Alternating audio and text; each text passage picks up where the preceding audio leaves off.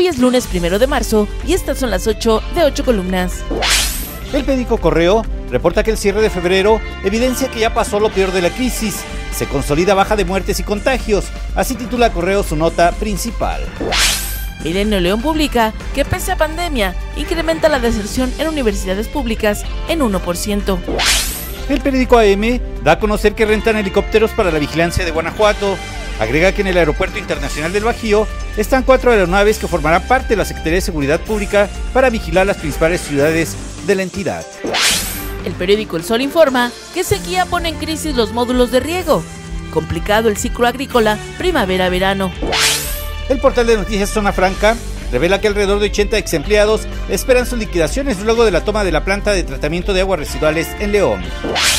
El portal Quali destaca que la Procuraduría de los Derechos Humanos del Estado determinó que la Policía de León violó los derechos de 19 mujeres que participaron en una manifestación contra el acoso sexual.